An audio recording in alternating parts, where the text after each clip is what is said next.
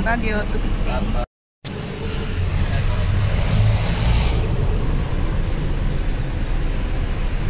Hi guys, welcome to our vlog. We're going to Puerto today, Puerto Galera. And we paid 50 per head. Sa bus na kami ngayon guys.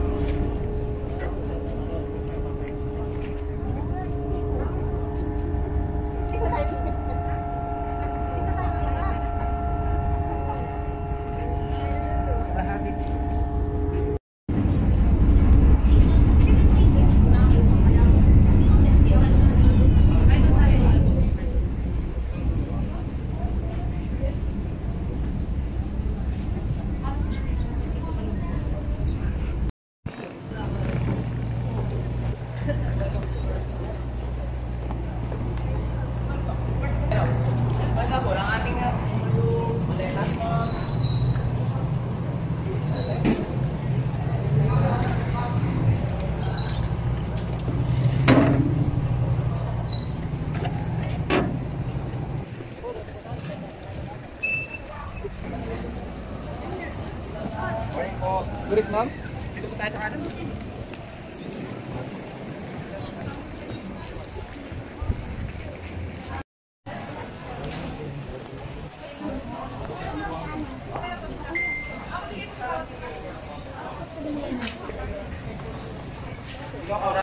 Hello guys, nasa Puerto Galera na kami.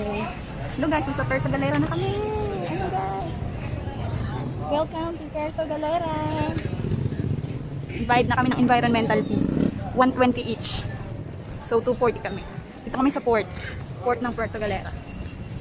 Arrive na kami. Now pupunta na kami sa aming res resort hotel.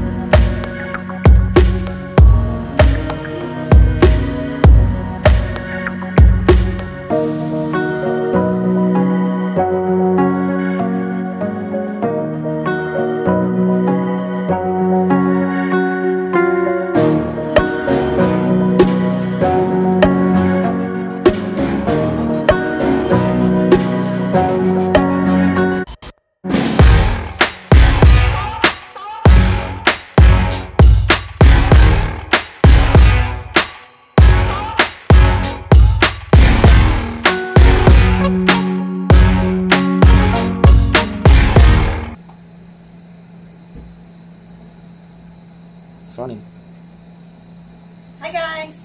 So ito yung room namin for 3 days, 2 nights here in Puerto Galera. And uh, the room here, uh, the resort here is name is Bakawan Forest Resort.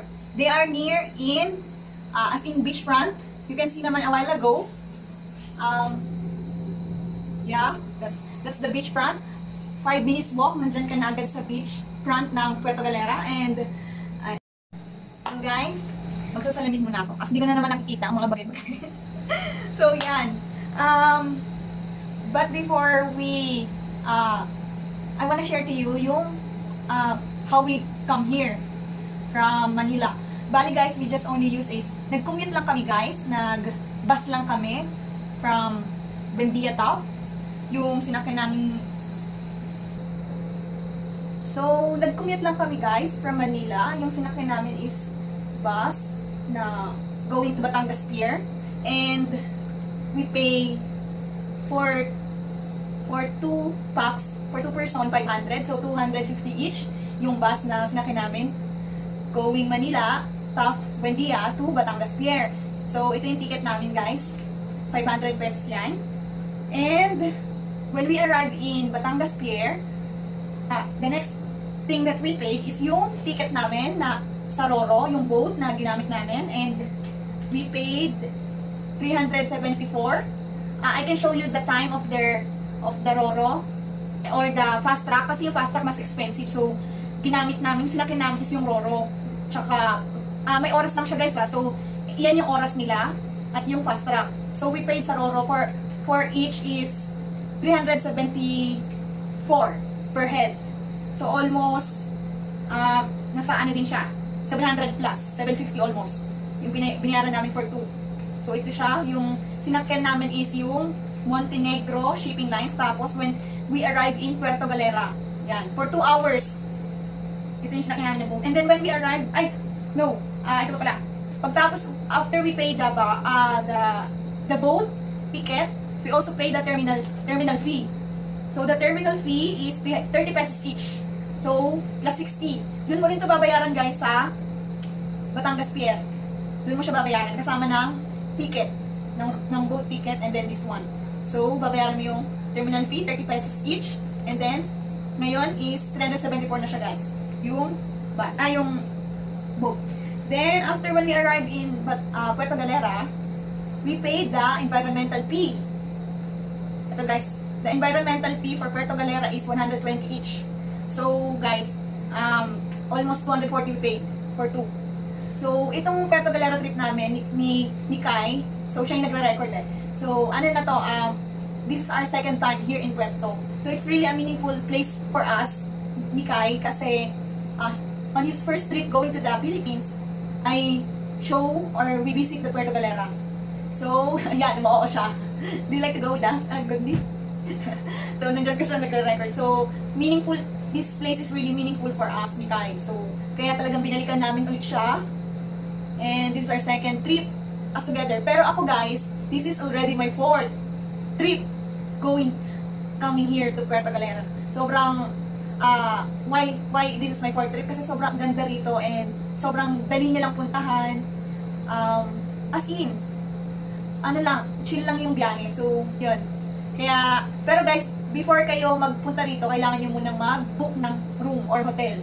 Kasi they, the, the once you arrive in Puerto Galera, uh, pier, uh, they need a to show that you already book a hotel here. So kami, nag-book kami ni Kai bago kami pumunta rito. So later guys, I'm gonna show you the beach front. So, see you later! Hope you enjoy our vlog today! Please subscribe and click the notification bell.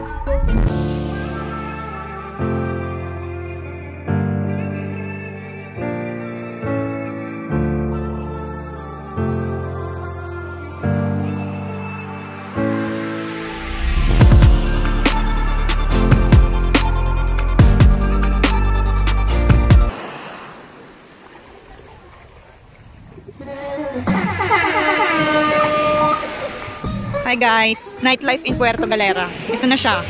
Wala na yung tulad ng dati. Mga ganito na lang. Ganito na lang yung ano yung nightlife sa Puerto. Tahimik na masyado. Ganyan na, wala na sa ano, na.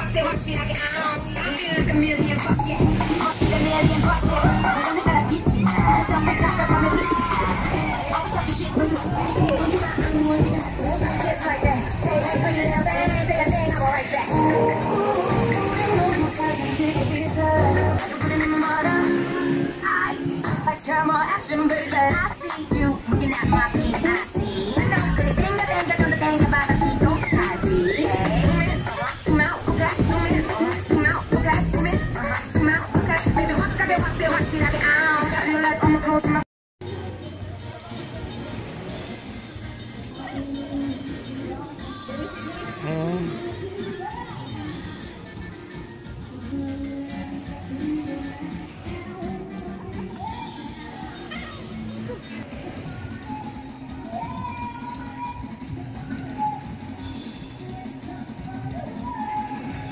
Tenny, ano kasi yan yung volleyball. Yeah. Ginawang rainbow rock namin. Yun na guys ang Puerto. Sa gabi, wala nang nightlife masyado. Sa mga resto-resto na lang.